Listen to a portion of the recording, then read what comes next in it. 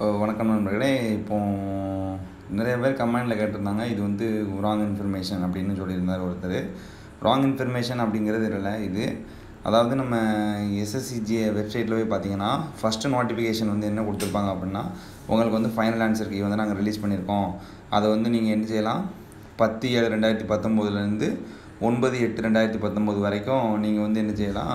அதுக்கு வந்து சப்போஸ் இப்போ உங்களுக்கு மார்க் எதுவும் ஃபார் எக்ஸாம்பிள் இப்போ ஐம்பத்தெட்டு மார்க் இருக்கான ஆனால் உங்களுக்கு வந்து கரெக்டான கொஸ்டின் தப்பு போட்டிருந்தாங்க. அப்படிங்கிற பாரபட்சத்தை வந்து நீங்கள் வந்து அதுக்கு அப்ளை பண்ணக்கூடிய மெத்தட்லாம் சொல்லியிருந்தாங்க. ஸோ அதன்படி நீங்கள் வந்து ஏ- ஒம்பது எட்டு ரெண்டாயிரத்தி பத்தொம்போது வரைக்கும் நீங்கள் வந்து என்ன அப்லோட் பண்ணலாம் அப்படின்னு கொடுத்துருந்தாங்க.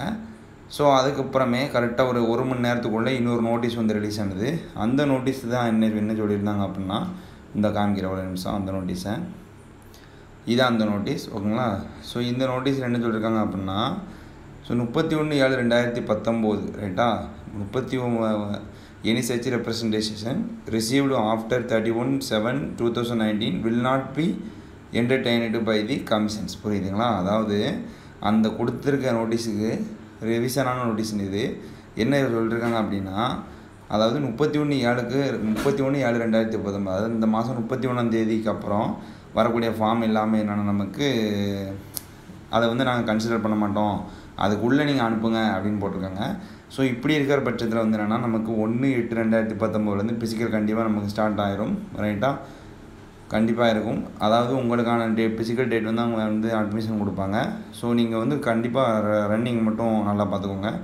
ஜஸ்ட்டு அது மாதிரி இன்னொரு இன்னொரு இன்னொரு கமெண்ட் கொடுத்துருந்தாங்க. அது என்ன கமெண்ட்னா ஸோ இப்போ ஜஸ்ட்டு ஹைட்டு எவ்வளோலாம் இருக்கணும் அப்படின்னா ஸோ நார்மலாக நமக்கு இந்த பிசி உள்ள மாதிரி தான். புரியுதுங்களா? ஸோ போலீஸ் கான்செப்ட் இருக்குது பார்த்தீங்களா அந்த குணம் மாதிரி தான் ஸோ நூற்றி நூற்றி அறுபத்தி ஐந்துக்கு மினிமம் ஹைட்டுன்னு நினைக்கிறேன்.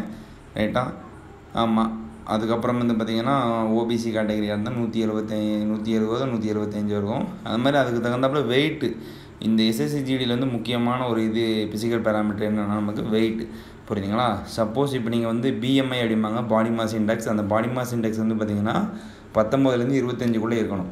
அதாவது அந்த எப்படி கால்குலேட் பண்ணுறது அப்படின்னா ஸோ இப்போ நீங்கள் வந்து ஒரு நூற்றி ஐம்பது மீட்டர் நூ நூற்றி ஐம்பது சென்டிமீட்டர் இருக்கீங்க அப்படின்னு வச்சுக்கோங்களேன். ஸோ நூற்றி ஐம்பது சென்டிமீட்டர் மீட்டராக கன்வெர்ட் பண்ணணும். மீட்டரை கன்வெர்ட் பண்ணால் எவ்வளோ நமக்கு?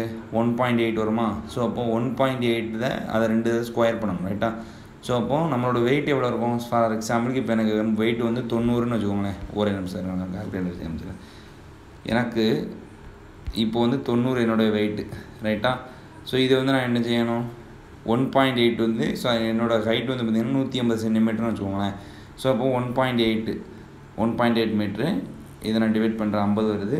மறுபடியும் நான் ஒன் பாயிண்ட் எயிட் நான் டிவைட் பண்ணுறேன் ஸோ இருபத்தி ஏழு வருது. ஸோ என்னோடய பிஎம்ஐ படி என்னென்னா இது வந்து தப்பு. அதாவது பத்தொம்போதுல கூட தான் இருக்கணும்.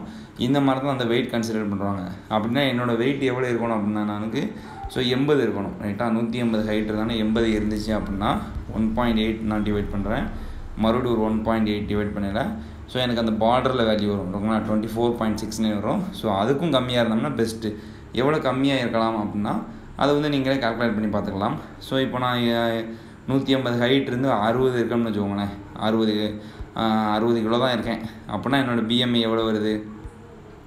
ஸோ பதினெட்டு. எனக்கு கம்மியாகி போச்சு. ஸோ பத்தொம்போதுலேருந்து இருபத்தஞ்சுக்குள்ளே இருக்கணும். ஸோ அப்போது நூற்றி எண்பது சென்டிமீட்டர் ஹைட் இருக்கவங்க எல்லாருமே அந்த அறுபதுக்கு மேலே இருக்கணும். எண்பதுக்கு எண்பது எண்பத்தஞ்சு அந்த ரேஞ்சுக்குள்ளே இருக்கணும். அப்படி இருந்தீங்கன்னா தான் நீங்கள் ஃபிசிக்கல் ஃபிட்னஸ் அப்படின்னு சொல்ல முடியும். அந்த மாதிரி இதில் நான் என்னோடய ஃப்ரெண்ட்ஸ் வந்து ஸோ உள்ளே போனவங்க வந்து விசாரித்ததில் வந்து